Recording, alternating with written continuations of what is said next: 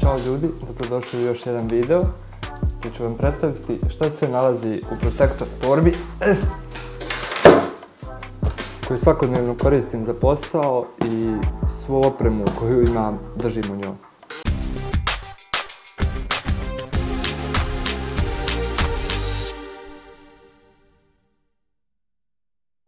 Prije svega protektor torba proizvodi se u Banja Luci. mislim da je ovo treća ili četvrta torba protektor koju koristim. Sve što mi treba za fotografisanje ili za video snimanje nalazi se u ovoj torbi. Svega sa strana imamo ove male džepove.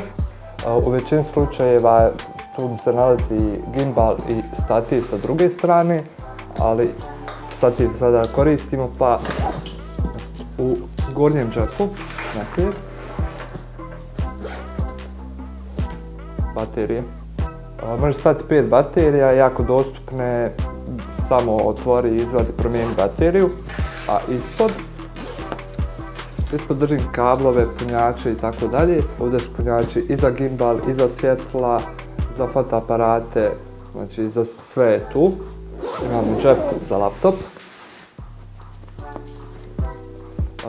U ovom pretincu, ovisno od situacije, ako mi treba laptop, ako mi trebaju reflektori koji sada koriste, ako mi trebaju bubice, idu u ovaj džep.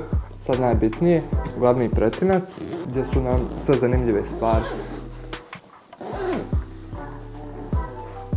Neke malo veće stvari koje mi nisu toliko neophodne, reflektori, blicevi, audio držimo ladicama i ovisno od angažmana, tako i pakujem opremu. Tu su neke snice za čišćenje opreme, prizma, ove vlažne maramice i tako dalje, fotografije, vistke i to. Ispod je, su mali torbice sa memorijskim karticama. Trenutno se u torbi nalazi video oprema. Tu su bojni mikrofoni. Gledat ću da ovaj video bude što kraći. Sve detaljne stvari kako koristim neki dio opreme, neki kratki komentar, preporuke, savjeti, bit će nakladno jer bi onda ovaj video trajao pola sata. Bubice na kablu, čisto nek se nađu. ND filteri. Već sam spominjao, ovo su vam kao sunčane naočare za vaš fotoaparat, torbica u taskama. Najveća prednost taskama je što ga mogu bilo gdje ostaviti blizu sagovornika ili bilo koga, ostaviti nek snima daleko kvalitetni audio nego iz fotoaparata ili bilo kojih mikrofona. Često snimam audio iz, sa bubica i u fotoaparat i u taskam. More kolega, fotografa, videografa, kamermana, nebitno, čak i novinara koji koriste baš ovu ovaj mali taskan jer je daleko isplativije kupiti ovaj uređaj nego samo mikrofon. To nam je jedno malo svjetlo. Osim što posluži ovako kada u mraku tražim nešto u gepeku, posluži i tokom snimanja da, da posluži i tokom snimanja da ili za kontrast svjetlo ili da obasja neku pozadinu da ne bude monotono i crno. Tu je adapter za R i RP za EF objektive. Drugi je trenutno na R-u i na 28-ici. Helios 55 mm.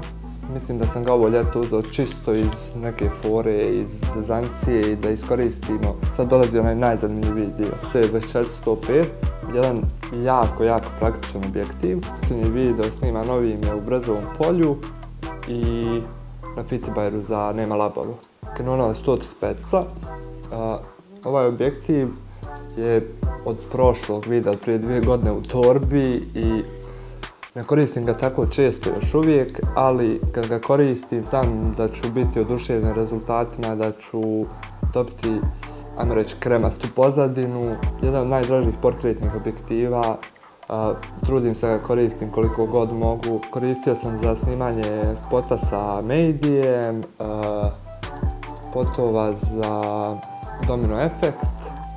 Hmm. ovo je jedna mala zanimljiva stravica.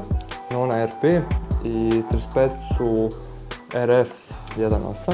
Prije godinu dana kada sam se dvomio da li da uzmem RP ili R, R je pobjedio čisto zbog baterija koje sam u tom trenutku imao 15-ak. Poslije ću pokazati ovaj dio ovdje kojim snimamo. I 7200. Ovo je jedan od objektiva koji sam davno, davno uzeo.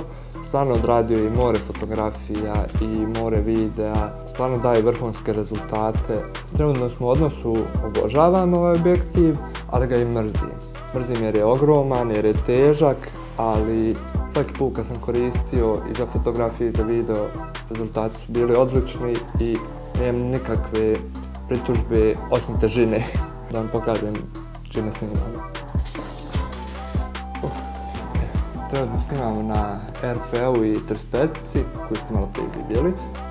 Zaboravio sam dodati da je 35 jedan od objektiva kojim sam odradio i najviše fotografija i najviše videa.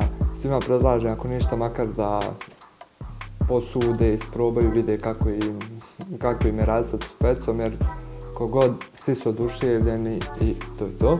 Canon R i 28 1.8 Canonova malo stariji objektiv. Tu je R uh, prošlo ljeto u augustu, od tada R za video, mogu slobodno reći, najbolja investicija ikad. Sve emisije Otisak Puls Plus uh, smo odradili, sve reklame, spotove i tekako. Također i Omar koristi R.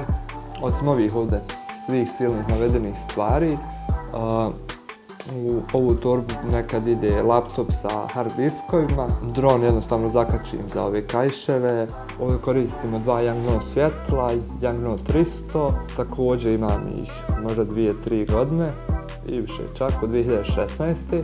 Ne mogu reći najboljih, ali najisplativijih reflektora imamo i veće, imamo i manje, prilično su dugotrajni baterija, tak tak. Svima predlažem kad već kupuj, ako kupujete ove reflektore, kupite i adapter da možete reflektore uključiti u struju, da ne morate se brinuti oko baterija. Čak dobijete ovaj mali daljinski koji nekad radi i nekad ne radi. Prvo oko ove torbe je najdraža stvar što je napravljena kod tank.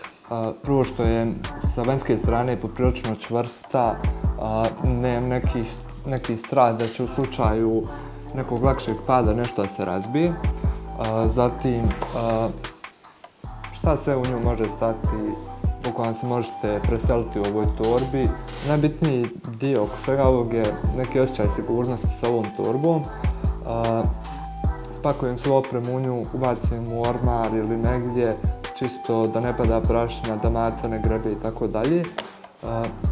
Još jedna stvar, ovaj ovdje dio je kao neka guma, ne znam ja. S donje strane imamo ove plastike za spuštanje. More pregrada, ove ručke i kajševi, stvarno ne zabole me leđa od ove torbe, iako je baš teška kad sve pobacujem u nju. Sve iskrene preporuke po ko zna koji put za Ivana i protektor torbe. Hvala vam na pažnji, nadam se da sam nekome olakšao šta bi mogao da kupi od opreme. Sve iskrene preporuke za torbu još jednom. ako vam treba bilo kakav savjet šta da kupite od fotoaparata, objektiva, opreme, mikrofona, svjetala, bliceva, tako dalje, tako dalje.